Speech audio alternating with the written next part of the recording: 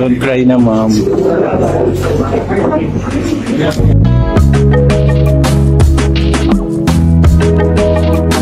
Ah, binibigay ko sa kanya, kay Kaloy.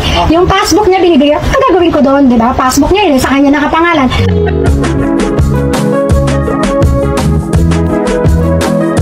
Kasi ang sabi niya, alam ko na. So, paano mo malalaman hindi mo tinignan yung mga resibo na nandito? Di ba? Alam mo na, oo, alam mo lang na maraming withdrawal sa land bank, pero hindi mo alam kung saan dinala yung pera.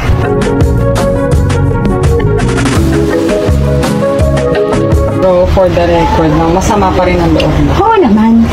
Ah, masama yung loob ko. Parang, syempre no, ah, andun yung pain eh. Na parang sabihan ka ng anak mo na magnanakaw.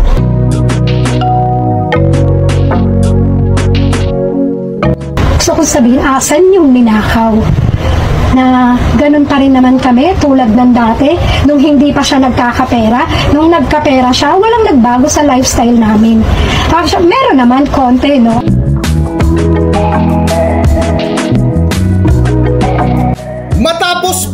pagkaitan ng mula sa kanyang anak na si Kaloy o Carlos Yolo, ina na si Angelica Yolo, inuulan ng biyaya. Kung bago lang kayo dito sa aking YouTube channel, huwag kalimutan mag-subscribe at pindutin nyo na rin ang notification bell para ma-notify kayo sa ating susunod na video. Maraming salamat.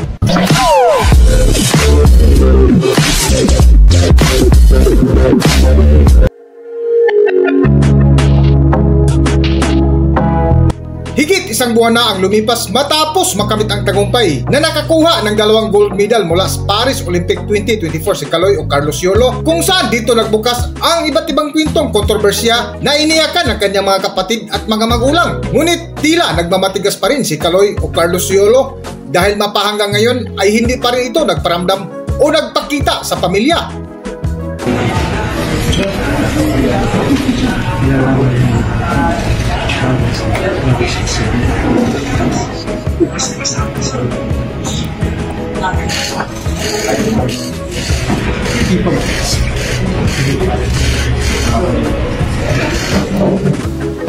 Ayoko na pang balik masabi. Nagpapagulo lang po sa sa victory po ni Carlos. Ano mo gusto may pakiusap lang sa lahat? Mahigit na lang po sila. Tumigil na po. Ah. Okay lang, lang.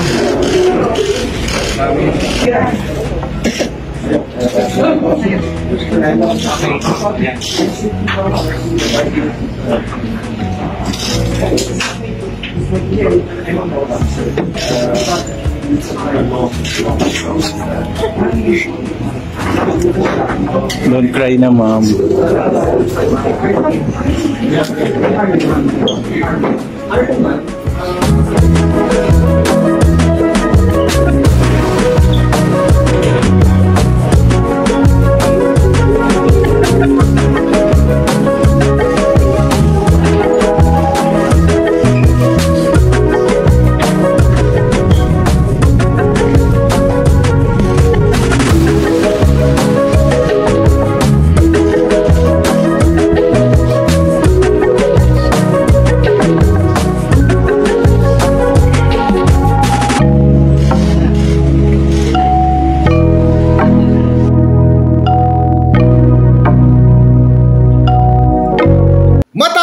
Ang sagutan sa social media ng maginang Carlos Yulo at ina nitong si Angelica Yulo, kung saan pinartangan pa ito ni Kaloy o Carlos Yulo ang ina na kinuha at pinakialaman ang kanyang bank account. Ngunit sinagot ito ng kanyang ina na tila nasupalpal si Kaloy o Carlos Yulo sa ibinulgar ng kanyang ina. Yes, oo, pipicturean ko yung passbook niya na nandun yung 10 million niya na hindi naman namin nagalaw. Then yung mga resibo dun sa ano niya sa tawag dito sa land bank niya. So intact naman yung mga ano, lahat intact. Kung gusto niyang kunin, kunin niya. Kung gusto niyang ibenta para maging pera, okay lang, wala namang problema, magagawa naman, hahanapan ng pwedeng hanapan ng buyer or whatever, di ba? Yun lang, yun yung ano ko. Mami, bakit isusurrender niyo yung passbook? Saan po? Hindi ko siya surrender, no? Sinurrender ko siya doon actually. Saan po? Sa, binibigay ko sa kanya, kay Kaloy. Yung passbook niya, binibigay, ang gagawin ko doon, di ba? Passbook niya, yun, sa kanya nakapangalan. Pati yung ATM card niya, bibigay ko na, and yung ID niya doon ng yung tin ID niya na ako nagpagawa ay nandoon din. Tapos yung mga resibo ng ah, BDO Life niya Opo, na fully paid ah. plus yung Sun Life. Ah, bakit po ninyo binibigay ngayon? Nasa Paris pa siya. Hindi na po ba siya dito? Hindi, matagal ko na yung binigay. Parang way back 2023. Ah, last Kung baga year. parang sinasabi niyo po na ibigay niyo na sa kanya. Binigay so, wala ko, na pero- hawak na dokumento. Pero kasi, since hindi naman niya kinuha, kasi ang sabi niya, alam ko na. So, paano mo malalaman, hindi mo tinignan yung mga resibo na nandito? 'Di ba? Alam mo na, oo, alam mo lang na maraming withdrawal sa land bank, pero hindi mo alam kung saan dinala yung pera. Yun yung point doon. Hindi mo kasi tinignan.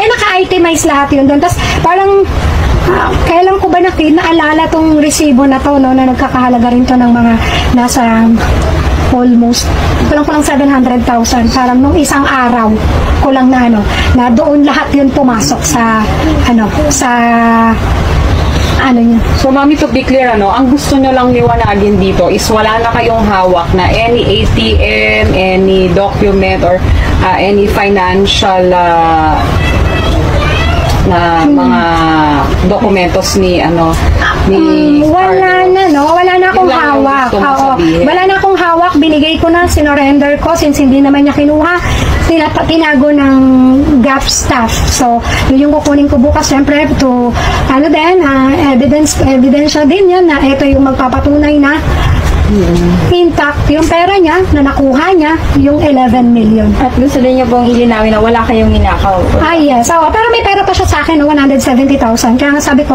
gagawin ko ng paraan kung paano ko mapapa-expedite na ma-withdraw yung 170. So, yun na lang yung ano, siguro baka magbayad na lang ako ng penalty or whatever, maibigay ko lang sa kanya. Pero maghihintay pa ako na kasi sabi sa akin is for approval pa siya. Okay. Pag sinoli ko yung credit. So, yun. Mami, al- parang ano no, ah, kasi to medyo so financial Mm. side na eh. So ayaw na na lang din pong mag-react regarding sa kanyang uh, pagkapanalo. Oo, ayoko nang mag-react, no? Ayoko nang, ayoko na, as much as possible. Ayoko. Kasi alam mo, actu- kahit naman sila, yung dalawa, may sarili silang, ano eh, ah, bank account eh. Meron, dala-dalawa yung bank account nila, isang Metrobank, isang BDO. Meron tong dalawa ko din anak na ah, tinuturuan ko rin sila kung paano mag-save kasi hindi naman kami mayaman, di ba? Na parang hindi sila habang panahon tatumbling. May hangganan. So yun yung lagi kong sinasabi sa kanila, ah, mag-save sila for your future. Kahit yung mga anak ko, tinuturuan ko na, ah, kinuhanan ko rin sila ng insurance para at least pagdating ng araw, kung may kumikita na sila, o ituloy mo na, lakihan mo na yung hulog mo. Para, ganun yung inaano ko sa kanila. Kahit kay Kaloy, dalawa ang insurance niya. Yung isa na fully paid ko, na pinurn over ko sa kanya. Tapos yung isa, apat na taon ang nabayaran na noon bago ko, bago tinurn over sa kanya. Ito alam ko naman na medyo obvious ano, pero for the record, masama pa rin ang loob mo. Oo naman. Masama yung loob ko. Parang, syempre, no, ah, andun yung pain eh. Na parang sabihan ka ng anak mo na magnanakaw. Na parang, gusto ko sabihin, asan yung ninakaw?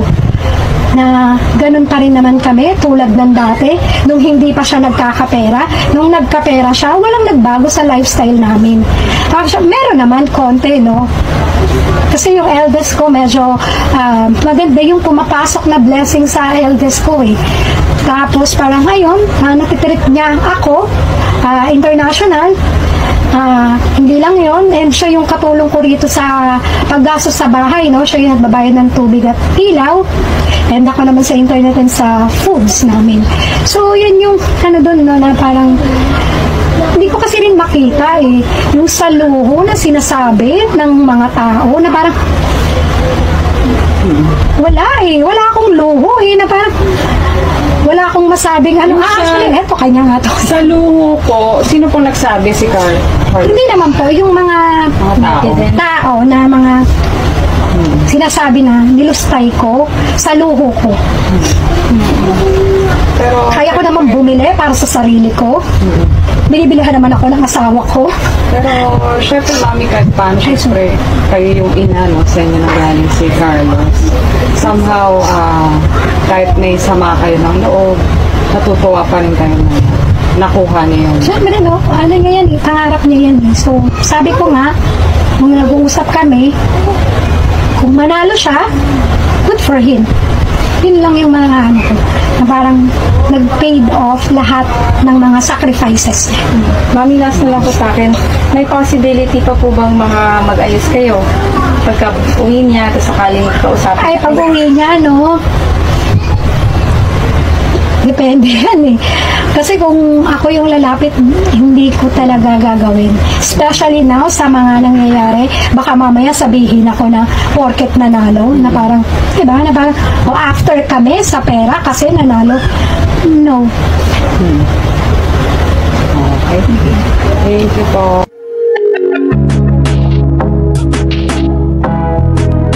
At sa patuloy nga na kwento ng ina ni Carlos Yulo na si Angelica ay dito inamin kung magkano lamang ang hawak niya ngayon na pira mula kay Kaloy na ikinagulat ng netizens. 70,000 na ano niya, na ayun yung masasabi kong nasa akin ngayon as of now, no? Kasi, ah, ano niya yun eh, ah, ang tawag dito, cash incentives niya yun ng World Championships 2021. So, sa akin ibinigay ni Ma'am Weng kasi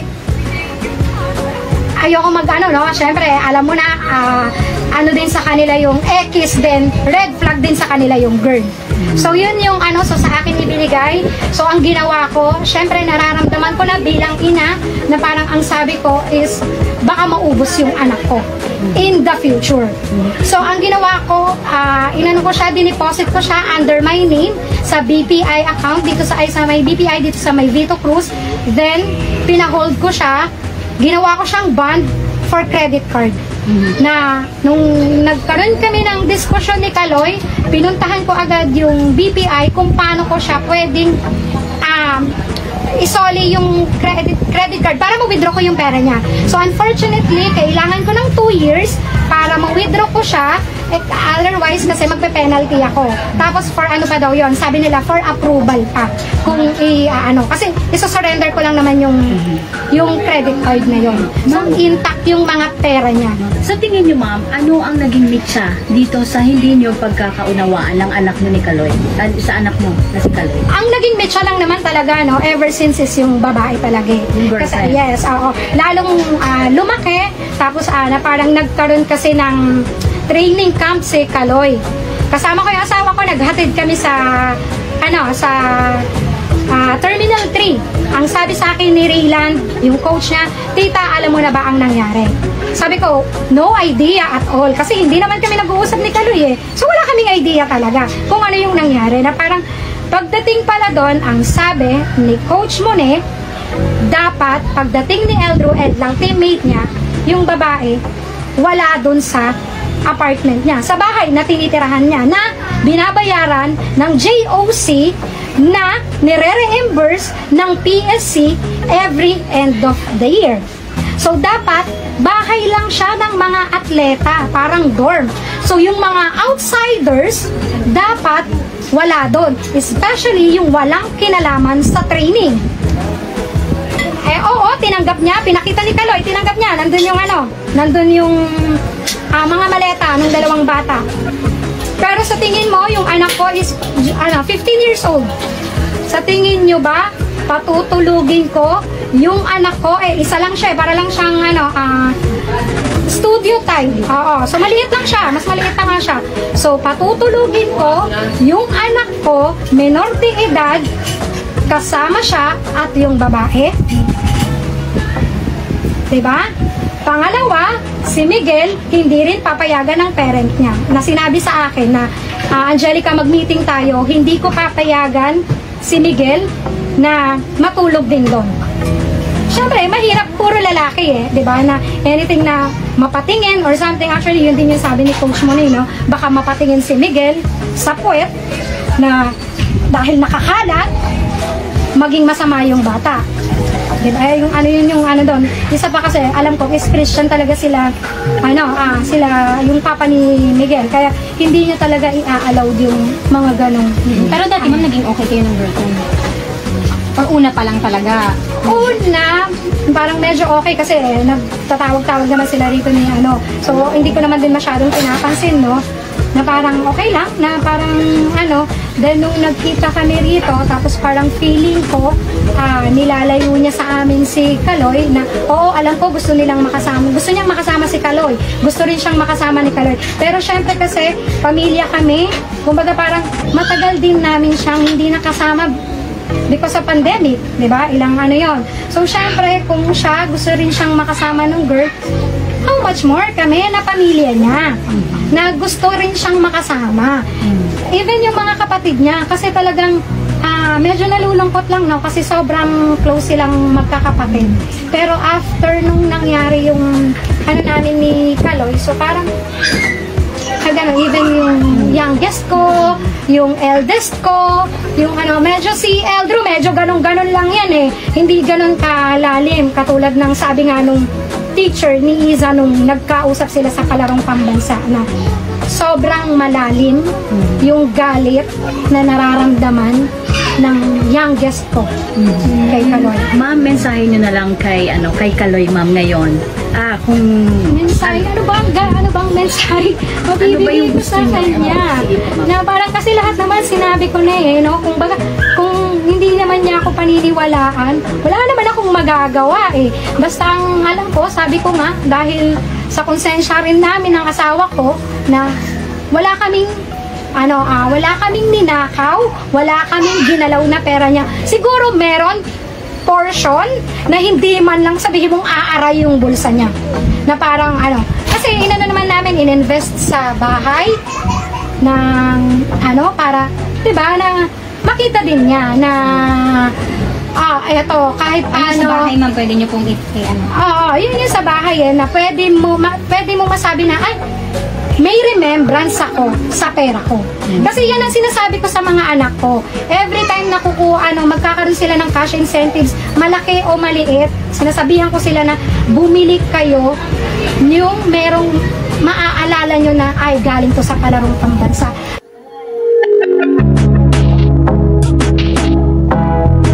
Ngunit sa kabila ng lahat na naranasan nila mula kay Kaloy o Carlos Yulo, ay masaya pa rin ang buong pamilya. Bukod sa mga taong may nagmamagandang loob, ay tuloy-tuloy pa rin ang kanilang negosyo o hanap buhay. At nitong huli nga ay isang napakagandang blessings ang natanggap ng ina ni Carlos Yulo na si Angelica Yulo kung saan kinuha ito bilang brand ambassador. Para sa iba pang kwento, huwag kalimutan mag-subscribe at pindutin nyo na rin ang notification bell para manotify kayo sa iba pa nating kwento. Maraming salamat! Ikaw nang bahala. Naka-play niya. Oo. Basta ikaw nang mag-ano. Ikot ko lang ha. Thank you, thank you, Doc. Tapos, Ano? Camera na. Okay.